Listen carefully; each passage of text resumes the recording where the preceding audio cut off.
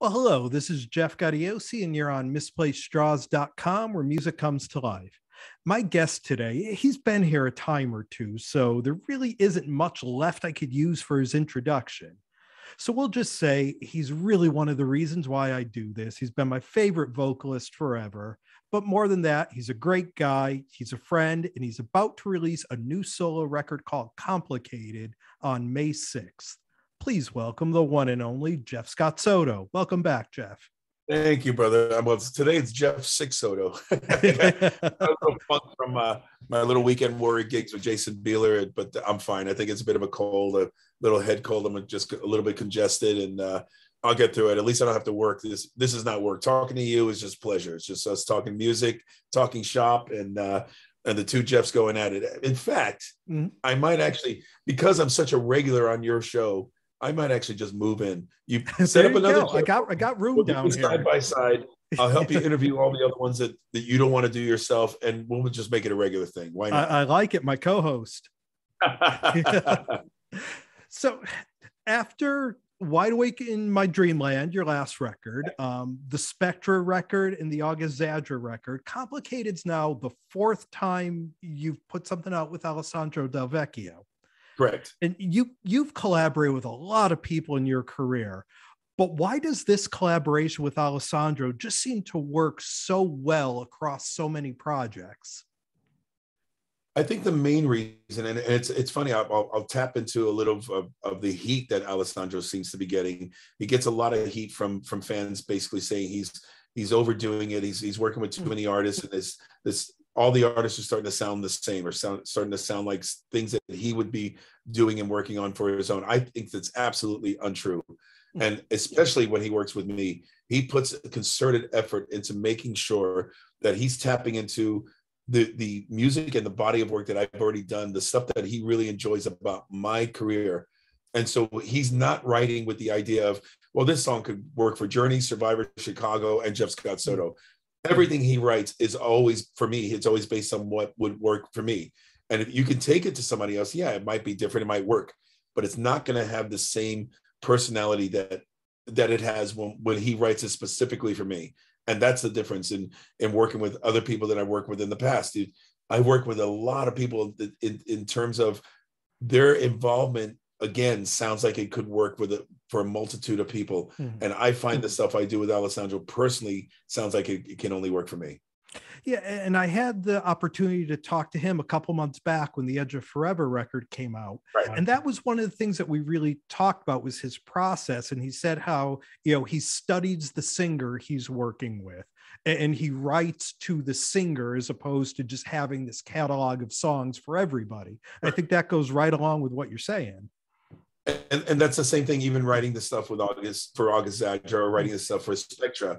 When we're writing together we I, I do the same thing. I know bj i've been trying to get bj was the singer spectra uh, heard and and known around the world for the longest time. He just hasn't had the right vehicles for labels to jump on. You know every time i take one of his projects to frontiers they go great voice but it's not what we want. It's not what we're looking for and then I had to find what they were looking for in terms of what they would say yes to in, in BJ's voice. So once again, when I was writing song, the first two songs I wrote for Spectra with Alessandro, they were they were not spe- specified for me. They were specified for BJ's voice, voice, his tone, and his range.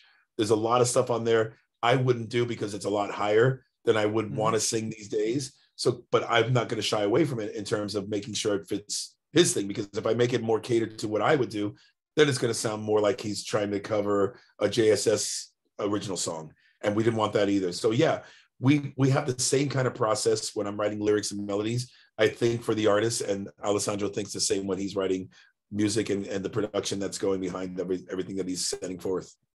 Yeah, and you know, when we talk each time, I, we try to do something a little bit different that you don't get in a normal interview. And, and with this one, I really kind of want to get into the creative process that the two of you have and using your current single love is the revolution because i think that is really different from anything else you've done. Um, the song starts with what i assume is alessandro playing a sitar. So step one is does he come to you and say hey jeff i got this crazy idea to put a sitar on your record or does he just send like the plain bed of music and you do your lyrics and melody and the rest of that's added later he's pretty much uh he's pretty much a 90% always all, everything's already there kind of person when he writes if he hears a sitar uh that that might go in later or or something to that effect it's going to go on there on the demo before before I even start working on it. And that's one of the things that really got me excited about that song. When I heard the demo version of it, it had that sitar on it, and immediately it took me to like there's so many Beatles songs and Aerosmith songs that kind of have that vibe to them. I've always wanted to have that kind of thing, and without him even knowing that, I've always wanted something like that. He gave it to me, and I was so excited. I said, "This song is not only going to be special, but this has to be a single. Yeah. I love that song so much because of the intro. And the intro pretty much set the precedence, set the kind of course of where I was going with the song. You know, again, we're talking about the Beatles. Mm-hmm. Uh, they use sitar and a lot of stuff when they started getting more into the experimental uh, years of their recordings. And what's the one thing they always talked about the latter years was love and peace and harmony. Mm-hmm. So I kind of took the same idea of love is the revolution because of the sitar and what the sitar represents in peace and harmony, I kind of went with that theme in terms of everything that's going on in the world currently, from Ukraine to the division, politically, religious, um, um, social injustice, all those different things. I wanted the all you need is love message for this particular song. And that to me was the next step further of love is the revolution that will get us through everything in the end. And, and it's funny because that's just where I was going to go with it. Is the first thing you think of when you hear "Is Sitar Anywhere" is George Harrison and the Beatles, and, and then right. just the whole vibe that you said with "Love is the Revo- is the Revolution," but it sounds nothing like a Beatles song. Right. But exactly. you know, like when you're listening to it, you're thinking Beatles, but it doesn't. So you know, it, it's almost like dude, how much sort of massaging of the song did it take to get that vibe without sounding anything like the Beatles? Right. Hmm. Well, it's the idea behind it. Again, they took an instrument that you wouldn't commonly use in pop music or rock music, and they utilized it with a message of peace and love and harmony behind it. If they use it in a in a in a darker way for a song like Helter Skelter or something that was a little a little deeper and darker in the message, that might have given that instrument in the future that same kind of idea behind it. You use that instrument, don't try to use it in something peace, love, and harmony. It'd probably be better suited in something that's talking a little darker. So, because of that, that's where the influence in itself came from. You hear that and you automatically think, oh, I feel like I'm, I'm in a Zen kind of mood. It's, it's putting in that kind of peaceful, loving feeling. And so I wanted to make sure that the message behind the song matched what you hear when you hear that little piece of music starting off the song. And your band is literally all over the world. I mean, you're in LA, you know, Edu is down in South America, Alessandro and Fabrizio, I'm assuming, are in Italy. So after the two of you kind of get the bones of the song, what's the route around the world that it takes? You know, where does it go next? Well, because I'm not the producer per se on on the the last few records, I'm not responsible for how the hows, where's, and when's as much as as Alessandro is. So mm-hmm. I am responsible for making sure he is using my drum, my longtime drummer Edu, because Edu basically has to play on everything of mine. Otherwise, it's not going to be released. It's that's just the way it is. He's amazing. You're not, gonna, you're not going to sell me on another, another drummer for my my solo releases or the other things that I I feel Edu is the strongest representation as a drummer for. But as far as the guitar is concerned, I totally entrusted Alessandro when he found uh, Fabrizio for the Wide Awake album, and I was so impressed with his guitar work. I had to bring him onto this new album. He's he's kind of set a new course and standard for my solo records, mm-hmm. and I was so happy that he wanted to do yet another one with us. And uh, whatever I had to do to make sure he was going to be part of it, I made you know I, I told Alessandro make sure that he's going to do it. Um, Ale is so he's such a diverse artist in terms of his writing, but also as his playing and his production he's one of those jack of all trades. So I can entrust somebody like Alessandro in every sense of the words. Like it's like trusting somebody with your newborn. Mm-hmm. You know when you leave your newborn with with grandma or or or somebody in the family that knows how to nurture a baby, that's exactly what you're going to get in the end. And that's what I do with Alessandro my music.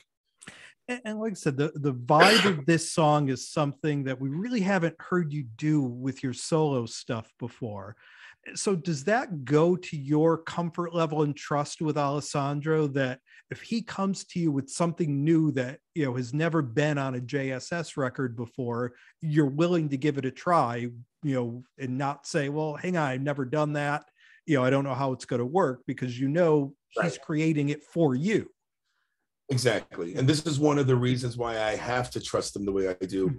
because I don't personally write anymore in terms of music is concerned. I don't sit here with a guitar and a keyboard and come up and craft out a song. My my skills are kind of limited as a musician, as a as a guitar player or a keyboard player. I would rather write a song with somebody who excels on their instrument to the point that they're going to come up with ideas I could never come up with because I can't play them. Mm-hmm. I can hum ideas, but if I can't play them, I'm not going to think about them when it comes to vocals and melodies and lyrics that's my forte. That's where I step up. So you give me a piece of music, a, a kind of blank canvas or a sketched canvas, I'm going to fill in the colors. And that to me is the best way of creating. That's why I entrust Alessandro. He'll send me two or three songs at a time. And 98% of the time of you're hearing exactly what I heard on the demo versions. Mm-hmm. You're not getting, uh, you're not getting, well, this is kind of an idea. And then later we're going to start filling in the blanks and I love that he's a visualist the same way I am when I'm creating. I want to make sure you hear and see the whole picture without having to try to imagine it later. And I think that really does fit in with all the stuff you have going on. I mean, you know, with JSS solo stuff with Alessandro, you know, the Sons of Apollo stuff with all of those guys, and even the right. Soto band stuff, you know, with Tony Dickinson and that crew Right. Does it keep it fresh for you because you're getting just these different ideas that are so diverse from each other? You know, you're doing something completely different every time. This is one of the reasons a lot of people think uh, Mike Portnoy, when he left Dream Theater, he jumped into four or five different projects at a time simultaneously because because he's trying to make a living or trying to find a new niche. Mike was basically fulfilling something he couldn't do with just one band. Mm-hmm. And that's kind of my mentality with everything.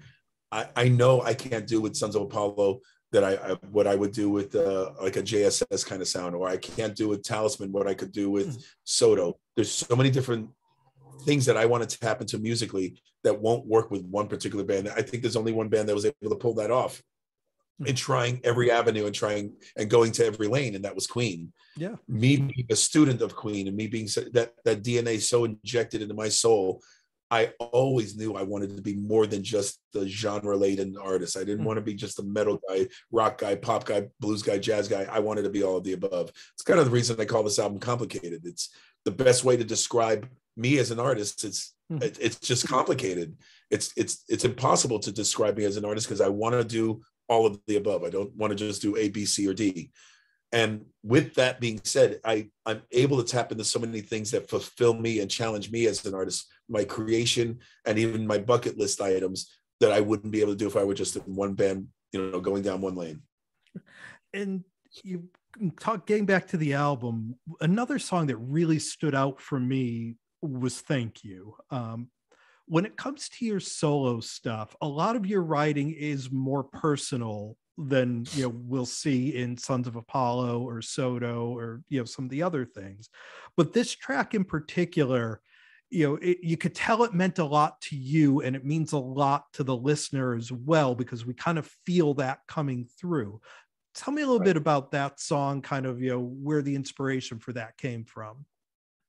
When I was writing it, I I did come up with the idea of wanting to thank uh, uh, an individual or individuals for exactly what the message of the song is allowing me to be me allowing me to be the best that i can be allowing me to express myself in the ways that i have as a person.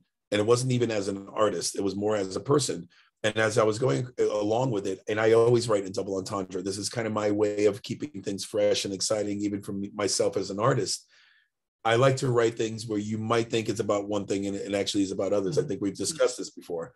This particular song started as a kind of a thanks towards it could be towards your parents, it could be towards a loved one, could even be towards a friend that kind of supported you and followed you and kind of pushed you along the way and made sure that you didn't give up your dreams.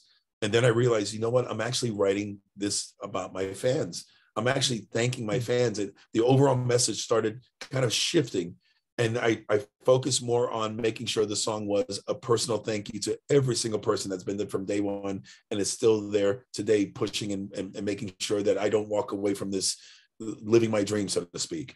But then if you actually stop and read the lyrics, it can go back, to, it can revert back to exactly what I was starting the, the song as. It can have multiple meanings and reasons why I'm thanking the person or persons in that song. And I wanted to make sure that the message came across in all aspects in, in all sides but the bottom line is that song is my thank you to the fans. If everything ended tomorrow that's kind of my my swan song. That's my thanks for everything that you allowed me to do. I can walk away now and feel fulfilled. And as a fan listening to it I, I think that comes across very strong. But i think the other thing and it just goes to show when a, song is well written and is a great song, you feel so many different things because of it. You know, at sure. one point as you're feeling it, you're thinking that it's you thanking your fans or in the people around you. But I think from a fan perspective, as I'm listening, it's also you run through your own mind the people in your own life that mean something right. to you. You know, so it's almost like, you know, you're expressing what we're feeling toward the people in our lives. And I think that's the mark sure. of a great song. Well, thank you. And yeah. and to be honest with you as well, I, I, I just realized as well that there's an extended uh, entendre behind the song as well. It's this is my 20 year anniversary working with Frontiers Records. Mm-hmm. So in in a lot of ways, that's even a thank you to them for for believing in me and for for staying the course with me. It, again, I'm I'm reflecting on the lyrics now, and it, it very much can be a a kind of uh, a, a, a gratification towards them for you know, for not giving up on me. There are so many times I'll go to them and say, Hey, I want to do a, a funk album or a soul album. And I'm oh boy, this is not what we invested in. This is this is not going to sell. Your fans don't want this. But they allowed me to be me because they wanted me to be happy. They wanted, if I want to try something, let me try it. You never know. But there might be a fluke. It actually happens in a big way.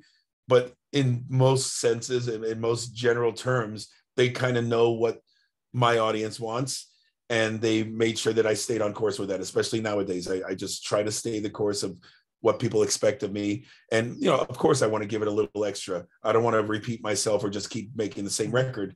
But on the other hand, I do have a responsibility to the label and the responsibility to the people that buy the music. So I, I kind of keep all those ideals when I'm working on these records and making sure that they all kind of fit in the same bookcase. you know, you don't want to again i could i could become the art the kind of artist like queen that every album is so different every other song is different from one another.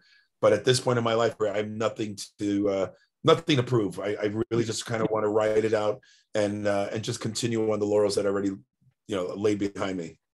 Well and that kind of brings right up it's almost like you're reading my notes here.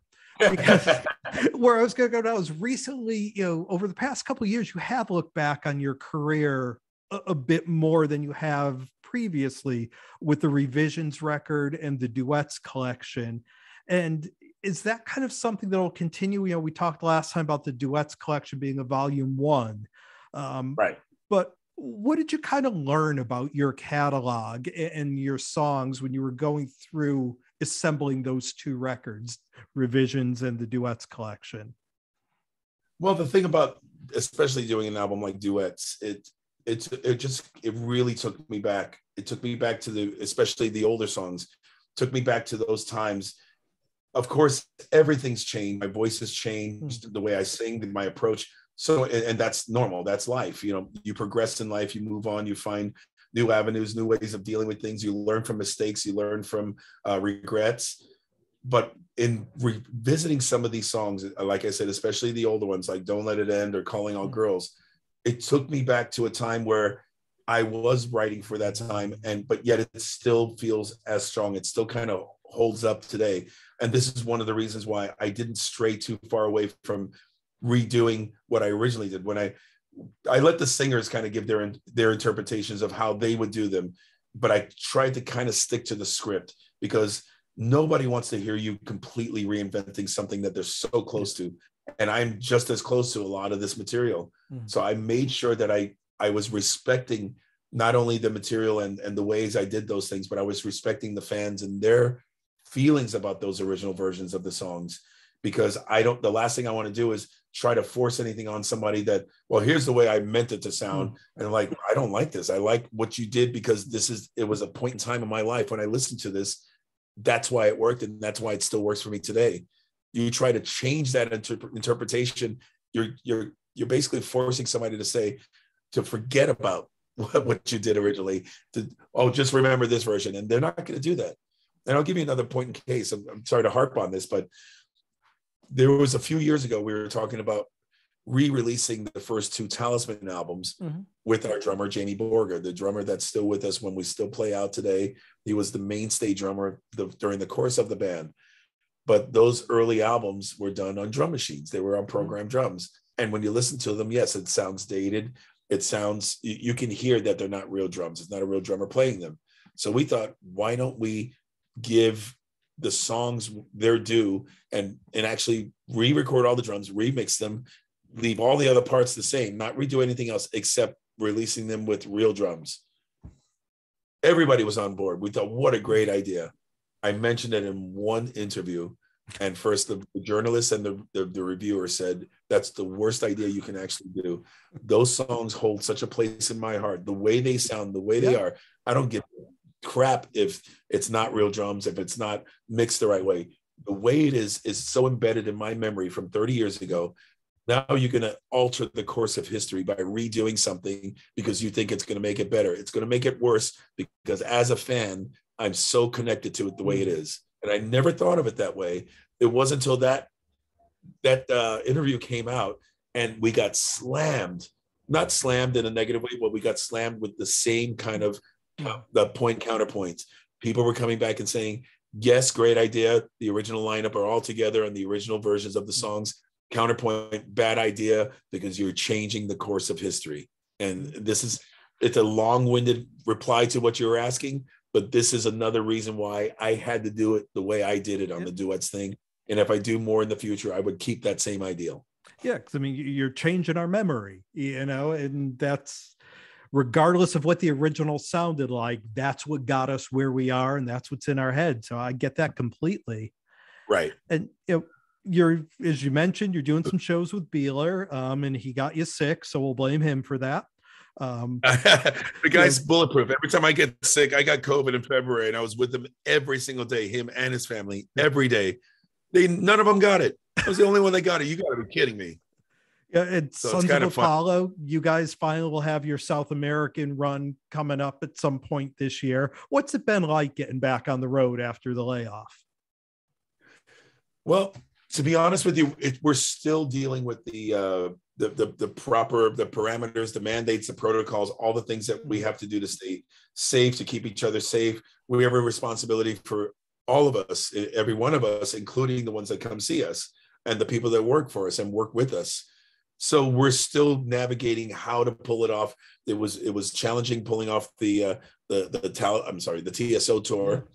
And we it will be challenging just as challenging as it was for us to get used to wearing masks and locking down and doing all the things that we got so accustomed to during the the whole covid outbreak the pandemic it's the same going back to real life. We are navigating how to get back to it because it's not how we remembered it. It's not going to be how we remembered it. We have to find new ways and courses to make sure that every single thing we do is not going to end in disaster and, and pulling the plug and having to go home.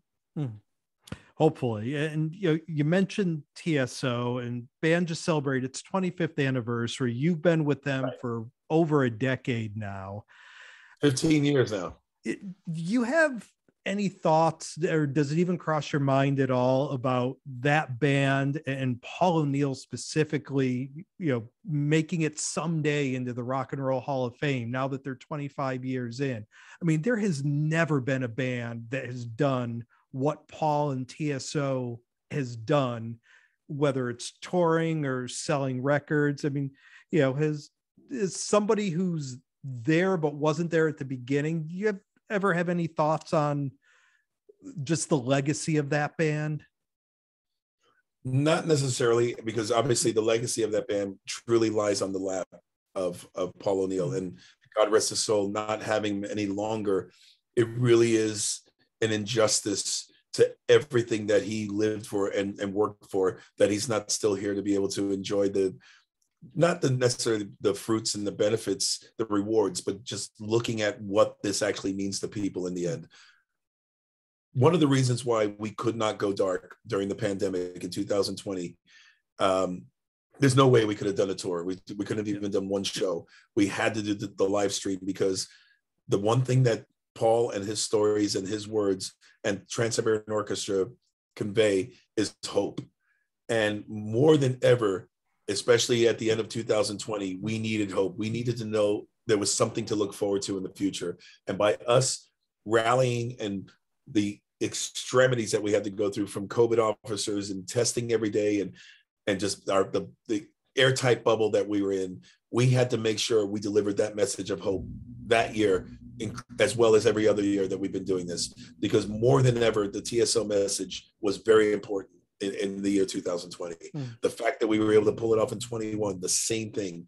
We all had to rally together and make sure we were all as responsible as the last person because one person screws up, one person gets uh, selfish or greedy or says, I'm not going to sit in my room on a day off. I'm going to go out and have a beer. I'm going to go out to a restaurant. And that basically spoils the whole soup. Yeah. Everybody has to go home and it's not fair. So we all went in with the same mentality. Whether you believe in COVID, whether you believe in the vaccine, any of that, all of that was out the window. We were one united family to make sure we could pull this tour off without screwing up the the whole idea of why we're doing the tour and that is our that's our tribute that's our paying respect to paul o'neill the rock and roll hall of fame and those kind of accolades are wonderful be lovely to be acknowledged in that way but as far as i'm concerned knowing that I, we always joke that uh, tso is the biggest underground band on the planet because what other band can outsell every other major tour a lot of major tours in the two months that we go out annually compared to other bands that are going out for seven, eight, nine, even 10 months in the year. And we're grossing as much as they are because we have an underground uh, following of people that that message is that important to. And it continues to grow and it continues to spread. And that's what I love about TSO, the, the message that comes behind that on top of the music and the visuals and all the other things that are the hmm. the uh the live portions of what you're getting out of it when you pull all of that aside that message of hope will always be there and that's it, it's just a great thing to have and be a part of it is it is we've been spending some time here with the great jeff scott soto the record is called complicated it's out everywhere may 6th and you know as busy as you are do you already have the next project lined up for once complicated's out to the world I think I have the next five lined up. it's absolutely insane how busy I am, and I always am. But it's strange because I'm not trying to. I'm not trying to distract my life by staying as busy as I possibly can. For the most part, it's hard for me to say no to things I really want to do. So instead of saying no, I find I just say yes, and I find ways of pulling them off. Mm. This the thing I'm doing with Bieler. It's a great thing that we're building, and it's something that neither of us expected to to be as, as accepted as it's been. So we continue doing it because we absolutely love it. It's a, a completely different animal from what we're used to, and we're getting so accustomed to making it a part, a regular part of our lives. The, the same way TSO has been a regular part of my life. This whole Bieler thing that we're doing is mm. is becoming yet another kind of little neat little chapter that I'm I'm able to I'm able to extend in, into my arsenal now. Well, Jeff, as always, it's always a pleasure talking to you, and I'm sure as those next five projects come up, we will be talking five more times. So I appreciate that. And I told you earlier before we started talking, I misplaced the straws that I use for my uh, my iced coffees, and I thought of you. And lo and behold, there you were. You were on my list of, uh, of interviews today. So I was thinking about you yesterday, looking for my straws, and I'm talking about you, talking with you about it today. Always, my friend. Feel better. Best of luck, and we will catch you on the road soon. Thanks, Jeff. Thanks for letting me chew your off. Anytime. Thank you. All, right. All the best. All right. Bye bye.